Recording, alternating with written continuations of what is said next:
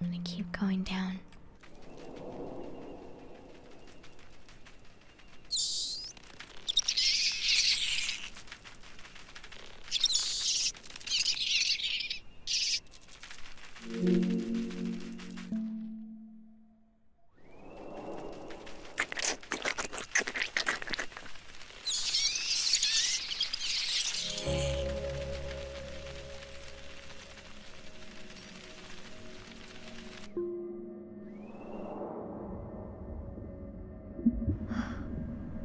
I'm a flea?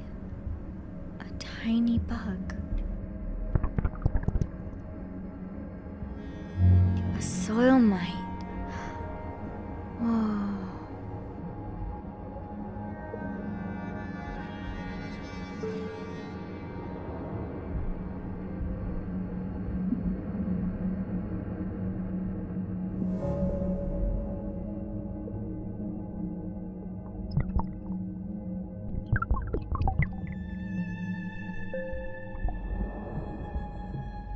Whoa, whoa, whoa. I'm. I'm DNA? Oh my god, I'm DNA.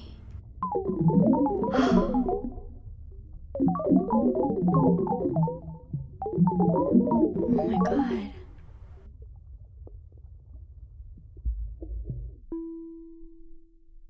I can descend further into myself?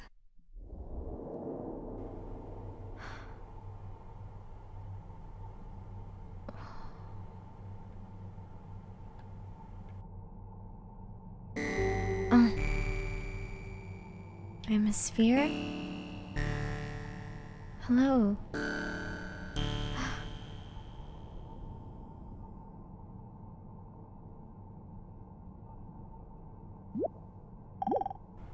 A world that peoples. You, as a human being, you grow out of this physical universe in just exactly the same way that an apple grows off an apple tree. So let's say the tree which grows apples is a tree which apples, using apple as a verb. And a world in which human beings arrive is a world that peoples. And so the existence of people is symptomatic of the kind of universe we live in. Just as hair on a head is symptomatic of what's going on in the organism. But we have been brought up not to feel that we belong in the world. So our popular speech reflects it. We say, I came into this world. You didn't, you came out of it. We say, face facts. We talk about encounters with reality. As if it was a head on Oh. meeting of completely alien agencies. And the average person has the sensation that he is a somewhat that exists inside a bag of skin, a center of consciousness, which looks out at this thing and what the hell's it going to do to me? Uh, I recognize you. You kind of look like me, and uh, I've seen myself in a mirror, and uh, you, you look like you might be people. so maybe you're intelligent. Maybe you can love too, and uh, maybe perhaps you're all right. Some of you are anyway. You've got the right color of skin, or you have the right religion, or whatever it is. You're okay. But there are all those people over in Asia, Africa, and they may not really be people.